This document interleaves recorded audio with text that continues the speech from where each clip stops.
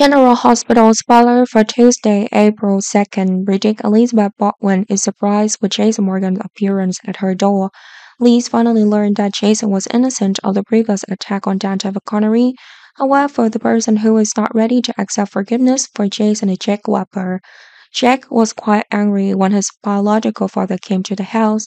Jack thinks Jason should go to jail instead of being able to walk freely around town like he is now. Jason explained that Jason was not the one who attacked Dante, even Dante has proven Jason innocent. But Jack won't completely believe what Jason is saying. Jack then argued that even though Jason didn't attack Dante, Jason has been gone for two and a half years. Jason would not be able to tell his son the whole truth. Jason could then only apologize to his sins. At that same time, Jason will also confirm with Jack that Jason had not done anything wrong to his relative and family. Jason promises to one day give Jack a proper answer to Jack's current question.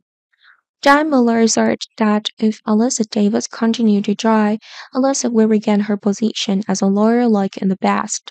Of course, Diane will continue to support and help Alexis, but Alexis doesn't have the confidence to do that. It turns out that Nina Caranta decided to leave the invader, leaving Alexis a bit shaken. Alexis probably wants to stay and continue working at the invader instead of quitting. Because if Alexis can't get her practicing certificate back in the end, the invader is still the place to help Alexis make money. Dante will also receive a visit from his biological father, Sonny Corinthos. Of course, during this visit, Sonny will not want to mention issue related to Jason, but Dante will make Jason the main point of the conversation. Dante claims Jason is innocent and that Sonny should trust Jason again. However, Sonny argued that would never happen. Sonny knew part of the truth. Sonny did not accept that Jason had been worked for the FBI all this time. That's how Jason betrayed Sonny. Of course, Dante argued that Jason could have been forced.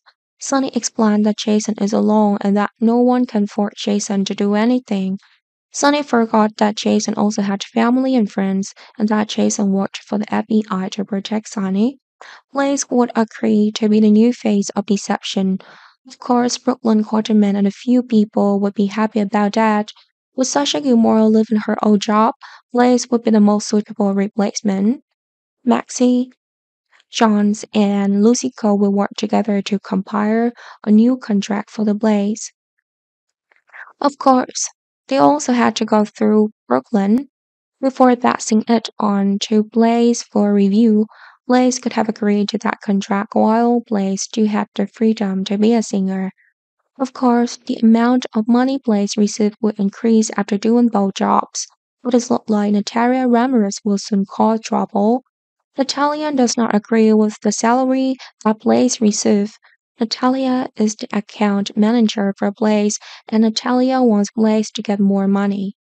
Finally, Valentin Cassadine interfere with Sonny bipolar disorder medication that caused Sonny to be treated properly, which also caused Sonny to have strange behavior and often have a hot temper. Valentin wants to put Sonny in jail because Valentin secretly cooperated with Bachman and saved John Brennan. Sonny will not be aware of Valentin's moves, so Sonny wills to use those ineffective bipolar disorder medication. Anna Devane will begin to worry about Sonny's action, which is why Anna will warn Sonny. Anna promises to catch Sonny herself if Sonny endangers anyone around.